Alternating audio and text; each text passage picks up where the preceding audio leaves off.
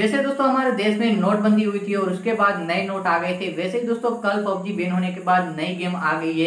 ये पबजी की दोस्तों अल्टरनेटिव गेम है। इसके बारे में खुद अक्षय कुमार ने अपने ट्विटर पे ट्वीट करके बताया है और इसकी फ़ोटो भी रिलीज़ की है। इस गेम का नाम है दोस्तों फौजी और इसका फुल फॉर्म है फियरलेस एंड यूनाइटेड गार्ड्स इस गेम को दोस्तों कब लॉन्च किया जाएगा, इसके बारे में कोई जानकारी नहीं है, लेकिन दोस्तों कमिंग सुन लिखा गया है, यानी कि जल्दी ये आने वाली है ये गेम अगर दोस्तों, ये गेम पबजी जैसी हुई तो इंडिया की जो सारी गेम्स है, उनका रिकॉर्ड तोड़ देगी, क्योंकि आप जानते ही होंगे कि पबजी ने कितना तहलका मचाया था जब वो इंडिया में आई थी, और अभी तक दोस्तों, वो तहलका मचा ही रही थी अगर बैन ना होती। तो दोस्तों, पबजी में क्या होता था कि हमारे देश का जो पैसा है, वो बाहर जाता था। लेकिन दोस्तों, ये गेम आने के बाद हमारे देश का पैसा हमारे देश में ही रहेगा, लेकिन इस गेम से एक और फ़ायदा है दोस्तों, ये गेम जितना भी अर्न करेगी, जो भी नेटवर्क से अर्न करेगी, उनमें से ट्वेंटी पैसा भारत के वीर ट्रस्ट फंड में जाएगा। यानी कि हमारे भारत के जो वीर है, यानी कि जो सैनिक है, फौजी है, उनके काम आने वाला है। तो ये बात मुझे अच्छी लगी। अगर आपको अच्छी लगी हो तो लाइक ज़रूर कर देना।